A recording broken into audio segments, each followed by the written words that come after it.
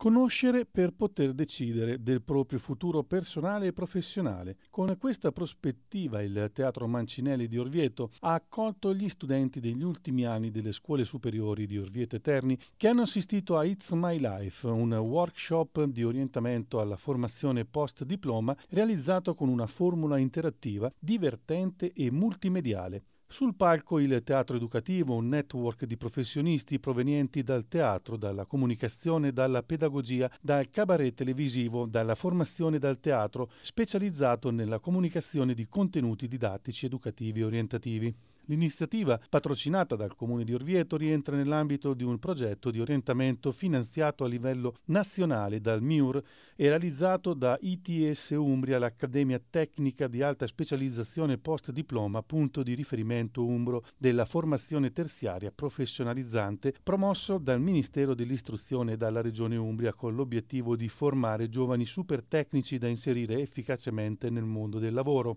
It's My Life ha costituito l'occasione per portare in scena una riflessione sulle opportunità che la società offre ai giovani per potersi qualificare, specializzare e collocare nel mondo del lavoro, sugli strumenti e sulle tecniche per orientarsi dopo il diploma, sui motivi per iscriversi a uno dei percorsi formativi di specializzazione di ITS Umbria, meccatronica, biotecnologie, internazionalizzazione agroalimentare e sistema casa e sulle opportunità che questi aprono ai giovani in termini di inserimento inserimento occupazionale qualificato. Lo spettacolo ha rappresentato soprattutto un'occasione per stimolare i partecipanti ad aspirare a qualcosa di concreto progettando il proprio percorso professionale in base a un equilibrio tra sogno, aspirazioni personali e fabbisogni delle realtà produttive del territorio. A introdurre il workshop Giuseppe Cioffi, presidente della Fondazione ITS Umbria, Francesco Lanzi, presidente della sezione territoriale di Orvieto di Confindustria Umbria, Giuseppe Germani, sindaco di Orvieto, Carla Emiliani dell'Università degli Studi di Perugia ed Elvira Busà, delegato dell'Ufficio Scolastico Regionale. Il valore fondante dell'azione di ITS Umbria, ha sottolineato il presidente Cioffi, è assoluto allineamento con le esigenze delle imprese che vengono da noi tradotte in programmi didattici con lo scopo di formare risorse qualificate. Lo facciamo ispirandoci al passato del nostro paese, all'esempio delle botteghe rinascimentali nelle quali i giovani